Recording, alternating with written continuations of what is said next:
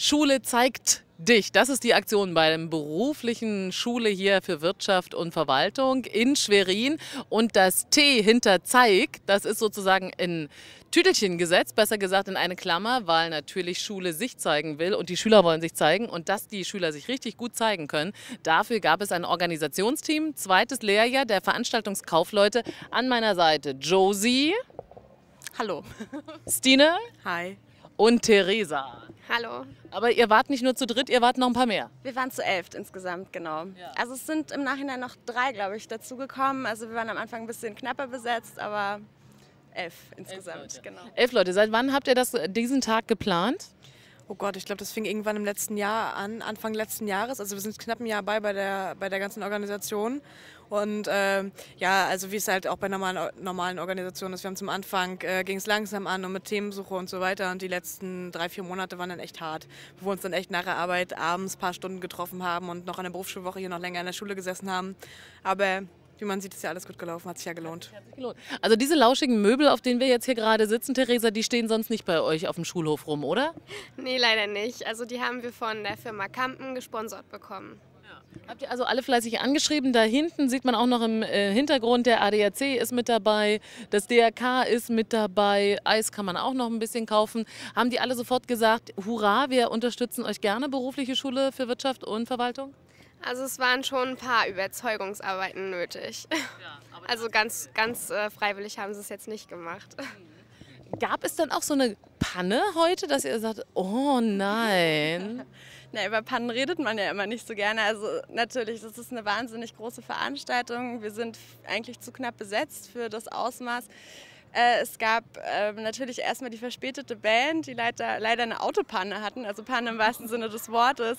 Ähm, die kamen super knapp, aber das hat alles noch gut geklappt. Ähm, wir hatten teilweise ein paar Problemchen. Also uns ist, äh, glaube ich, ein Workshopleiter abgesprungen oder der ist dann einfach gegangen. Und gut, es ist natürlich schade, aber im Großen und Ganzen ist es wesentlich besser gelaufen, als wir das, glaube ich, alle uns erträumt haben.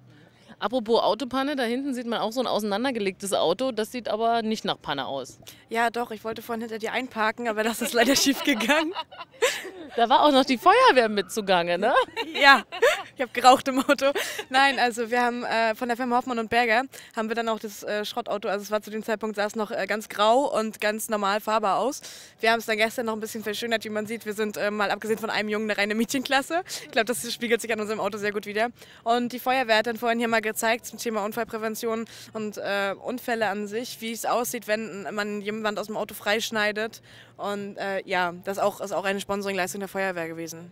Prinzip muss man sagen, die Feuerwehr hat gezeigt, wie man das Auto dann so richtig auseinander nimmt, ne? wenn es dann nicht ausgebrannt ist.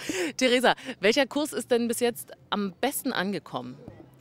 Am besten angekommen, ja, das ist schwierig. Also ich habe jetzt noch nicht so das Feedback bekommen, weil ich hier andauernd am Hin und Herrennen bin. Also es wird sich wahrscheinlich morgen dann okay. heraus. Dann fragen wir mal anders. Äh, bei, bei, welchem Kurs wärst du persönlich gerne dabei gewesen? Nun bist du dummerweise im Organisationsteam, kannst dir keinen einzigen Kurs angucken. Ja, ich wäre gerne im äh, Kamerateam dabei gewesen. Film und Kamera von der Schule der Künste.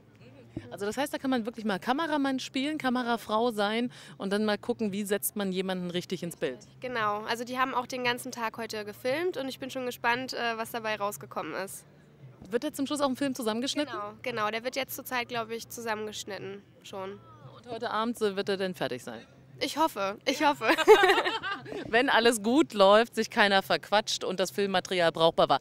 Josie, äh, Pilates habt ihr auch angeboten? Ja, wir haben auch Pilates angeboten, auch Yoga. Wir dachten, wir machen mal ein paar Sachen, die eben nicht so zugänglich sind normalerweise. Wirklich für Wirtschaft und Verwaltung sprechen, ja, ne? natürlich. Und auch in, dem, in der Altersklasse, in der wir uns hier bewegen, ist natürlich nicht unbedingt der Fall, dass man Yoga oder Pilates macht, aber das hat super Anklang gefunden. Also auch schon im Vorfeld, die Leute durften ihre Kurse wählen und wir haben natürlich versucht, ähm, die in die äh, Kurse einzuteilen, wie es nur ging. Ähm, ja, das ähm, war sehr überraschend, aber ich glaube, die Leute fanden das total super und es ist mal ein neuer Anreiz für Hobbys nebenbei, ja, denke ich. Genau, ja. denke ich auch.